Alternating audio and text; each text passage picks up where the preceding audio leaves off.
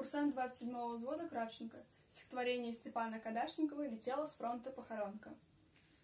Летела с фронта похоронка на молодого пацана, А он живой лежал в воронке, как безжалостна война. И проходили мимо танки, чужая речь, а он лежал и вспоминал сестру и мамку.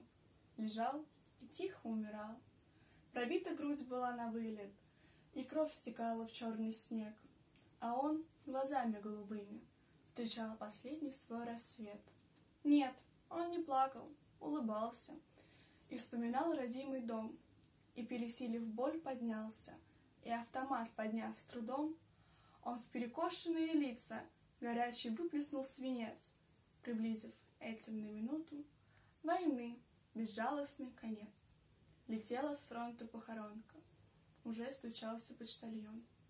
Солдат, глаза закрыв в воронке, на миг опередил ее.